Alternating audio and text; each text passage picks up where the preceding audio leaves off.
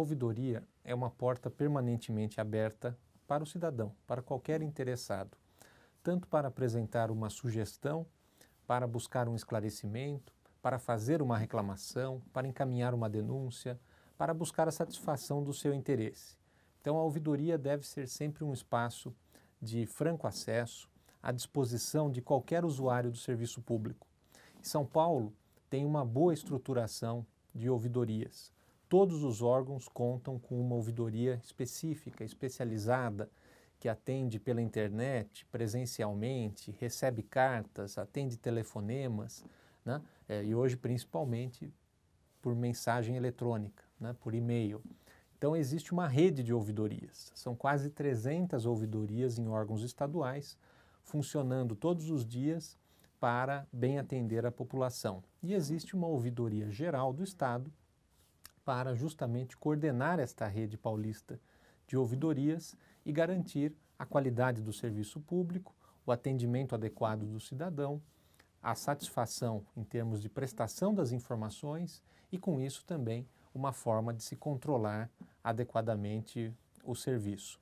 E ouvir é respeitar, né? por isso que é preciso ouvir sempre é, qualquer interessado, qualquer usuário do serviço público.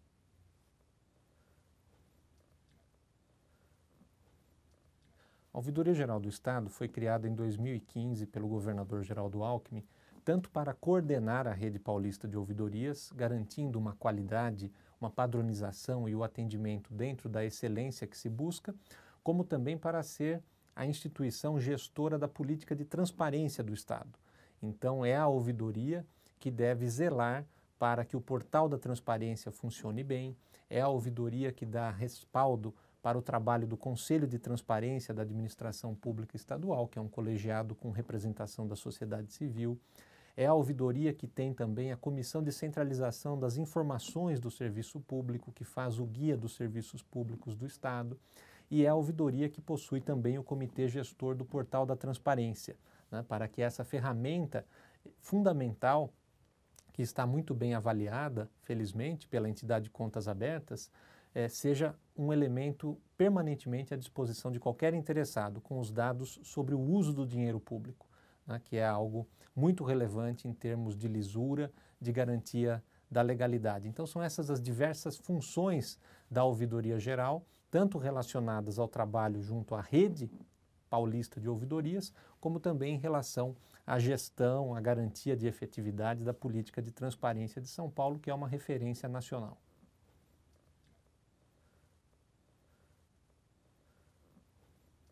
Transparência hoje é algo fundamental quando falamos em gestão pública, em administração do Estado.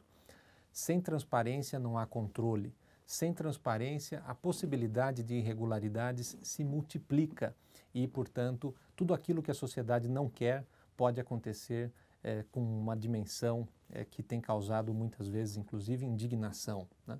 Então, a transparência, além de ser um mandamento constitucional, né, a nossa é, lei maior, que é a Constituição, prevê o chamado princípio da publicidade, que é justamente o que falamos hoje nessa expressão mais simples, né, de transparência pública, quer dizer justamente isso, né, garantir que o Estado não seja algo fechado em si mesmo, que seja é, uma instituição voltada à satisfação dos interesses da sociedade e permeável, aberto à participação das pessoas. Né, um Estado que ouve, que decide coletivamente, que implementa as políticas públicas que todos necessitam.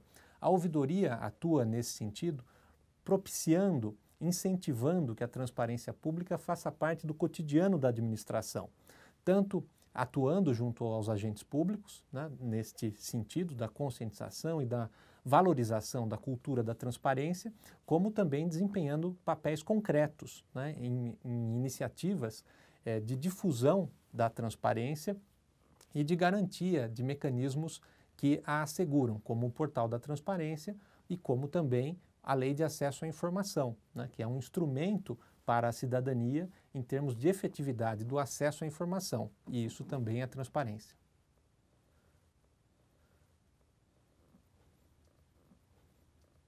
A lei de acesso à informação é uma lei nova que vem buscar dar mais efetividade ao que já era uma determinação da nossa Constituição. Né? A Constituição já estabelece que o poder público ele é um detentor de dados que são de interesse geral. E ele só deve restringir o acesso a esses dados em situações muito excepcionais, restritivas. Portanto, a regra geral é a da transparência e a do livre acesso. E a lei procura assegurar que esse livre acesso seja uma realidade prática. Para isso, as ouvidorias têm um papel muito importante por serem os canais abertos né, a essas demandas por informação e existe a estruturação de um sistema que garante o acesso à informação né, para que a lei eh, seja efetiva. Né? Eh, nesse sentido, a Ouvidoria Geral do Estado ela atua como instância recursal, com capacidade decisória, ou seja, se algum órgão do Estado não atende à lei de acesso à informação, descumpre algum dos seus dispositivos, o interessado pode recorrer à ouvidoria geral. E a ouvidoria tem capacidade, então, para decidir aquela questão. Né? Por delegação do governador, cabe à ouvidoria geral decidir quanto ao deferimento ou indeferimento do pedido de acesso à informação.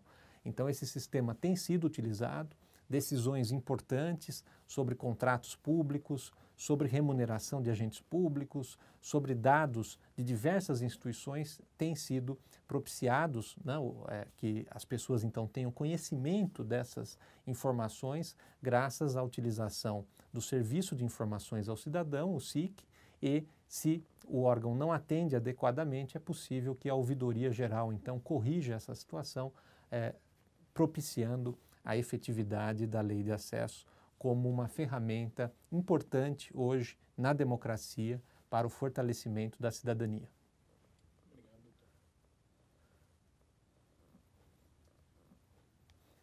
Ouvidoria e ética são temas totalmente correlacionados, integrados.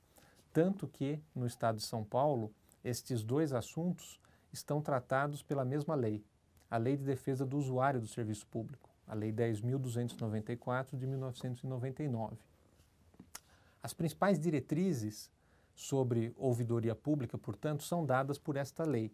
E elas se encontram nesta cartilha a ouvidoria no governo do Estado de São Paulo, que está disponível com alguns exemplares impressos ainda disponíveis e também a versão eletrônica pelo site tanto da Corregedoria Geral da Administração como pelo site da ouvidoria, ouvidoria.sp.gov.br a Lei de Defesa do Usuário é uma referência para o, para, para o nosso país. O Brasil discute ainda hoje a criação de um Código de Defesa do Usuário. São Paulo já fez isso, ainda no final da década de 90, estipulando tanto a necessidade de o serviço público contar com ouvidorias, como também a necessidade de ter comissões de ética e códigos de ética. Então, os códigos de ética, eles são é, normas num sentido de orientação para as condutas devidas dos agentes públicos. Então, é algo da maior relevância né, para que se tenha um serviço público capaz de atender aquilo que a própria Lei de Defesa do Usuário coloca como sendo os três direitos fundamentais do usuário do serviço: né? o direito ao acesso à informação, o direito à qualidade do serviço público e o direito ao controle adequado do serviço. Né? Então, são essas as três dimensões valorizadas e defendidas pela lei paulista e que agora se discute que possa ser feito algo também nesse sentido em âmbito nacional. Então, a relação eh, das ouvidorias com a promoção da ética é algo que faz parte do cotidiano, né? porque também o ato de ouvir uma pessoa é uma expressão concreta de respeito. Né? Portanto, é algo que faz parte das condutas esperadas no convívio social e, portanto, é algo que está em consonância com a ética almejada para que seja sempre presente no serviço público.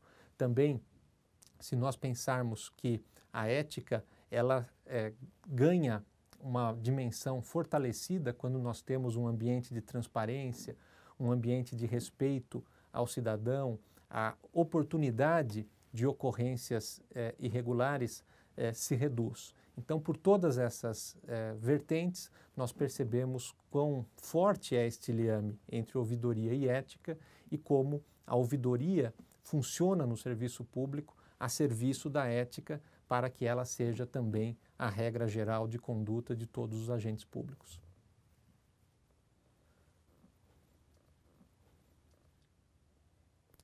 Pessoas estão utilizando os novos mecanismos à disposição da cidadania e que são próprios da democracia, mas sempre é possível divulgá-los mais. Isto é algo positivo. Quanto maior a participação, melhor certamente será o resultado da gestão pública.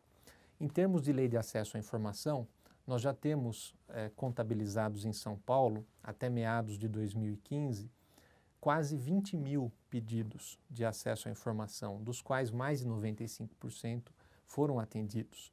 Então é um número é, expressivo, ainda que possa crescer mais. Em termos de funcionamento das ouvidorias, o número é ainda é, mais relevante.